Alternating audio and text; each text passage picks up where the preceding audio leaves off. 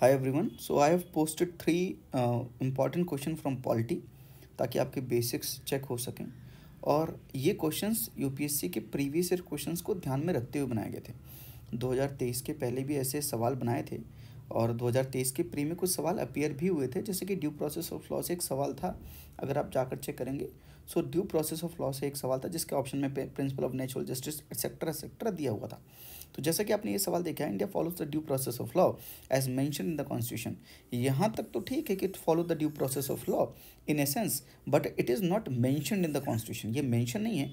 बताइएगा मुझे आप, या खुद भी सर्च कीजिएगा. आर्टिकल ट्वेंटी वन एक बार पढ़िएगा. आर्टिकल की लैंग्वेज पढ़िएगा, आपको अच्छे से समझ में आएगा. क्या वो प्रोसीजर स्टेब्लिश्ड बाई लॉ लिखा है या ड्यू प्रोसेस ऑफ़ लॉ लिखा? तो due process of law is not mentioned but क्या मेंशन है वो भी आप चेक करो. तो क्या पहला स्टेटमेंट सही है? आंसर इज़ नो पहला स्टेटमेंट रॉन्ग स्टेटमेंट है बिकॉज़ ऑफ़ दिस मेंशन और ये यूपीएससी नॉर्मली ट्रैप लगाता है ऐसे। तो आपने एनालाइज क्या होगा कैसे ट्रैप यूपीसी यूज़ करता है जहाँ पर वो मैंशनड या डिफाइंड इन द कॉन्स्टिट्यूशन इस तरह के ट्रैप यूज़ करता है। इसलिए मैं आपसे बार बार बोल रहा हूँ प्रीवियस ईयर क्वेश्चन का ढंग से एनालिसिस करेंगे तो आपको बहुत चीज़ें समझ में आएँगी। Constitutional laws are those laws through which state power can be limited and this is the typical concept that has been asked multiple times in UPSC previous year questions from polity that is limited government limited government so ये constitutionalism का एक you know theory भी पूछता है basic uh, से भी पूछता है उसके अराउंड के कॉन्सेप्ट्स भी पूछता है तो constitutional laws are those laws that you know generally they limit the state's power hence this statement is correct और पूछा क्या है incorrect so this is the directive words that needs to be looked upon very carefully because आपका answer गलत हो जाएगा। अगर incorrect पूछा है तो पहला ही इनकरेक्ट है तो आंसर क्या होगा? Only one will be the right answer second question that have posted is from static again all presidential government are republics. Yes, that is the correct statement. Presidential government, which means अगर republic का मतलब होता है elected head of state and this term is mention in the preamble और not मुझे बताइएगा एक बार। ये तो ईजी पूछ रहा हूँ आपसे, लेकिन फिर भी आप अपने लिए ढूंढिएगा। बताइएगा मुझे मतलब अपने आप को बताइएगा एक बार। रिपब्लिक कहाँ पर मैंशन है?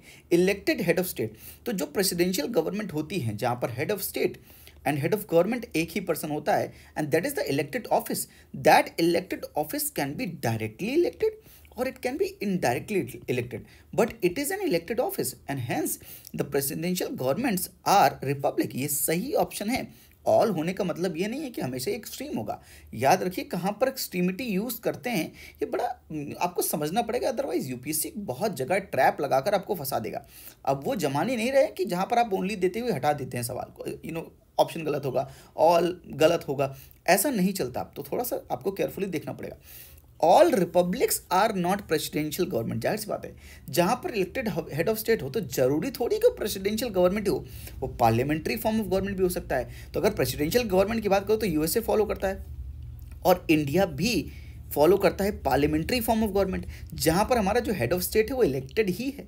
विच मीन्स कि all republics are not presidential government they can be parliamentary form of government also which means second statement is also correct और पूछा क्या करेक्ट स्टेटमेंट तो आंसर क्या होगा? Both both are the correct statement and the third you know question that have posted I am posting this question because they are very important from the exam perspective and they are checking your knowledge of polity और मैं मान के चलता हूँ, आप polity बहुत बार पढ़ते हैं। सबसे एक्सेसिव आप जो चीज़ पढ़ते हैं, वो पॉलिटी है।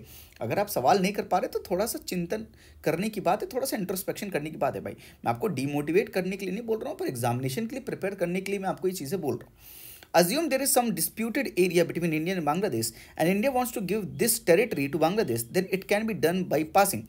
Now it is a disputed area. आपको कुछ चीज़ याद रखनी है अगर ये डिस्प्यूटेड बाउंड्री एरिया है डिस्प्यूटेड बाउंड्री एरिया है from any between any country अगर डिस्प्यूटेड है तो वो एग्जीक्यूटिव ऑर्डर के थ्रू किया जा सकता है अगर डिस्प्यूटेड है तो एग्जीक्यूटिव ऑर्डर के थ्रू किया जा सकता है लेकिन अगर अनडिस्प्यूटेड है कोई डिस्प्यूट नहीं है।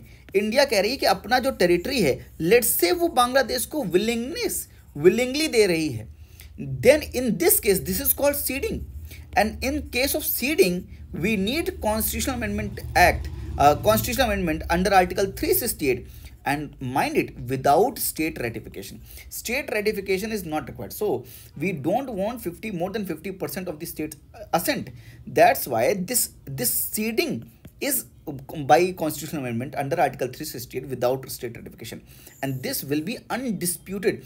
Dispute nahi hona chahiye and let's say if you're claiming if you're claiming some unclaimed area also if you're claiming some unclaimed area also then also it is needed executive order only so supreme court has said that in case of ceding you need constitutional amendment uh, amendment under article 368 without state ratification. But in the other case like disputed boundary hai in that case and in claiming the unclaimed areas government can pass an executive order and do that. Hence this uh, answer of this question will be an executive order. I hope you got the point. I hope you got the answer. जो भी आप मुझसे mail के through या message के through आप मुझे जो परेशान कर रहे थे I hope I have given you the right answer यहाँ पे डिस्प्यूटेड बाउंड्री एरिया अगर आपको लगता है बाउंड्री होने से तो ठीक है अगर आप यहाँ पे बाउंड्री इन्वॉल्व करना चाहते हैं बाउंड्री भी इन्वॉल्व कर सकते हैं.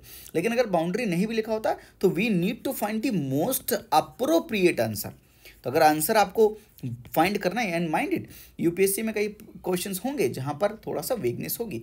So in that reference also अगर आप उस वेगनेस को भी ध्यान में रखें then you need to find the most appropriate answer and it is a disputed area then it has to be done by the executive order तो जो ये तीन क्वेश्चन मैंने पोस्ट किए थे, उनका एक्सप्लेनेटरी वे वीडियो मैं आपके लिए पोस्ट कर रहा हूँ। आई होप कि यहाँ से आपकी चीज़ें क्लियर हो जाएँगी और आपको थोड़ा सा पढ़ने में, आप रिवाइज करने में भी मदद करेंगे। याद रखिए प्रीवियस ईयर क्वेश्चंस को बिल्कुल मत भूलिएगा। उनसे इन्फ्रेंस लेकर मैं जो ये सवाल आपके लिए बनाता हूँ, ये these are most closest to pre examination ये जो सवाल बनाए जाते हैं, या जो मैं ये सवाल बनाता हूँ, मैं ये कोशिश करता हूँ कि प्रीवियस ईयर क्वेश्चंस को मद्देनजर रखते हुए करंट अफेयर्स को मद्देनजर रखते हुए और माइंडसेट ऑफ़ द एग्जामिनर को क्लोजली ऑब्ज़र्व करके ये जो सवाल हैं जो क्वेश्चन है, ये मैं डिज़ाइन करता हूँ ताकि आप मोस्ट क्लोजेस्ट जो प्री के सवाल हो सकते हैं, जो एक इंसान फ्रेम कर सकता है by involving all his capabilities all his experience वो मैं कर रहा हूँ आपके लिए क्वेश्चन फ्रेम करके और आपका इनका आंसर देकर आप अपने अंदर एक चेंज देख सकते हैं। आप ढंग से रिवीजन सही प्रिपरेशन सही डायरेक्शन प्रिपेयर करके अच्छे मार्क्स ला सकते हैं UPSC pre two zero four में टू ज़ीरो टू फोर में और एक कट ऑफ़ क्लियर करके आप मेंस के लिए क्वालिफाई कर सकते हैं। I hope these things are helping you thank you for being here thank you for listening to me thank you नमस्ते जय हिंद टेक केयर